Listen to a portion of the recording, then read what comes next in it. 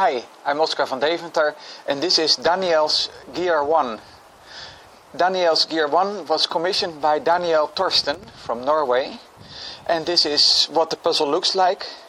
It's a bit like a Rubik's Cube but then with gears. Here you see the gears at some of the faces and if you turn it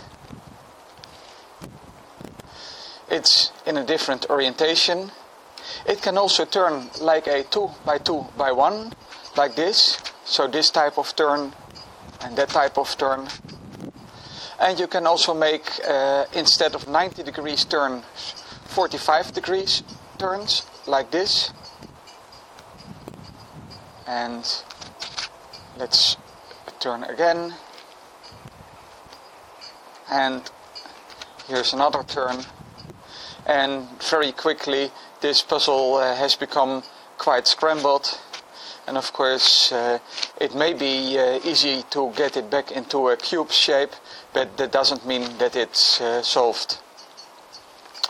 So my question to you about this puzzle is actually the orientation of the gears which is in only one direction that is on the equator of the puzzle. This is not the first geared twisty puzzle that has gears only in one orientation.